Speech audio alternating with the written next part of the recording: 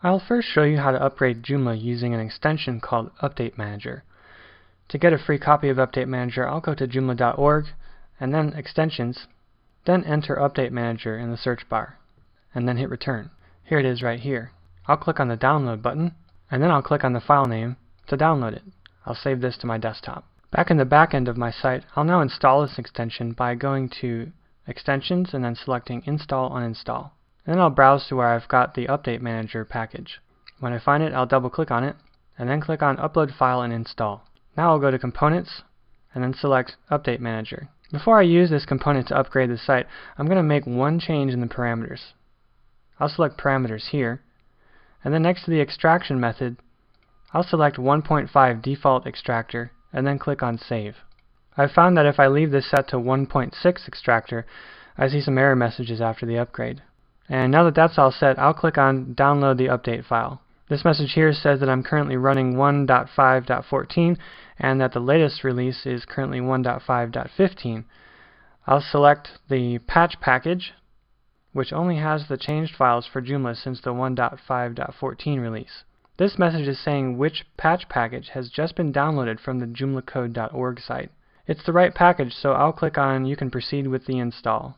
This page is telling me that I've successfully upgraded Joomla, but if I look up in the upper right corner, I can still see that the version says 1.5.14. If I go to another page, however, such as the article manager, when the page loads, now the version says 1.5.15, which is the current latest version of Joomla. Now I'll show you how to upgrade using an FTP program. First, I'll go to joomla.org, and then I'll click on Get the latest version. Then download other Joomla 1.5 packages. And in this list on the joomlacode.org site, I'll look for the update package for updating Joomla 1.5.14 to 1.5.15. Here's one of them right here, in a zip file format. That's the one I usually download, so I'll click on its file name to download it.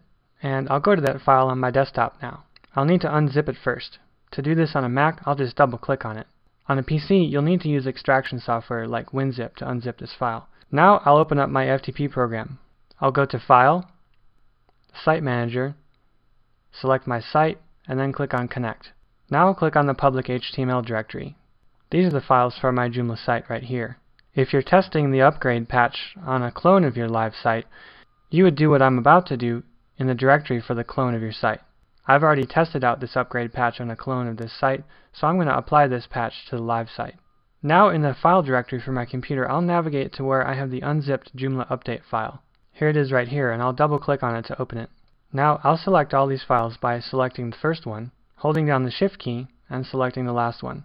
Now I'll right click over one of the selected files and choose Upload. When this dialog window opens, it's asking me if I want to overwrite the files in this directory that already exists with the same names. This is exactly what I want to do, so I'll check Always use this action, and then click on OK. Now all the files of the update patch file will upload to the server in the directory where I have my Joomla site installed. When the upload process is done, I'll go to the back end of my site and refresh the page. In the upper right, the version number has changed to 1.5.15, which is the most current version, so I'm all set.